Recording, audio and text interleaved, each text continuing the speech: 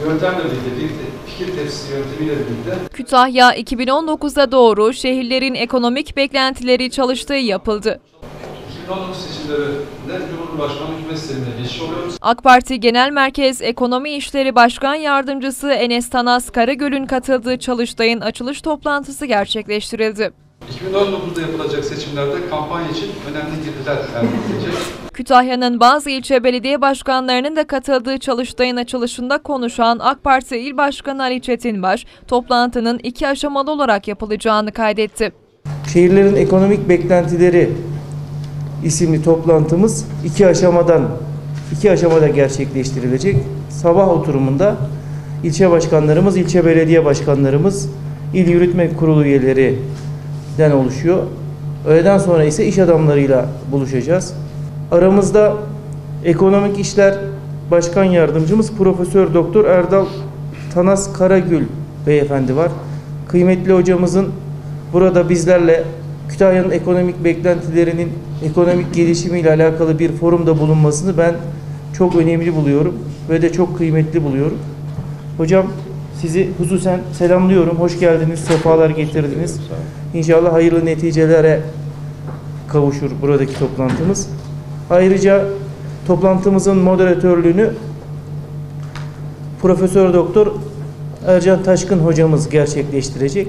Ona da şükranlarımı sunuyorum. Bu projeden bahsettiğimizde bizler kadar heyecanlandı. Biz biliriz. Onlar da Kütahya sevdalısı, Kütahya dertlisi. Aynı zamanda moderatör arkadaşlarımız, hocalarımız var. Onlara da teşekkür ediyorum. Ve sözlerimin sonunda Kütahya'mız adına, memleketimiz adına geleceğin daha güzel, insanların daha mutlu olmasını temenni ediyor. Hepinizi saygıyla selamlıyorum. Çalıştay'ın Mart 2018'de tüm Türkiye'de tamamlanacağını belirten AK Parti Genel Merkez Ekonomi İşleri Başkan Yardımcısı Enes Sanas Karagöl, Çalıştay'ın yapılış amacını aktardı.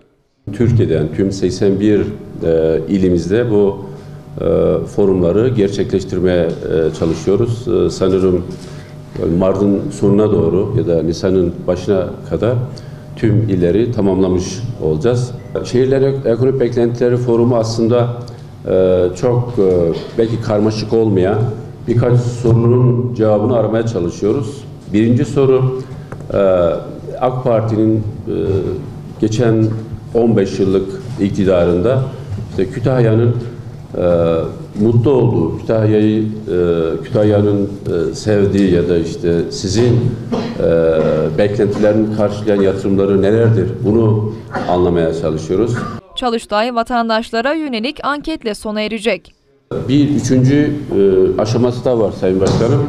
E, üçüncü aşamasında da e, halka e, anketle e, şey yapacağız. Yani soru soracağız. Dolayısıyla yani teşkilat mensupları, iş çevreleri ve halkın kendisine yani sokaktaki vatandaşa da e, bu soruları sorup Çalıştay açılış sonrası basına kapalı olarak devam etti. 2019 seçimleri öncesi Çalıştay verileri önemli.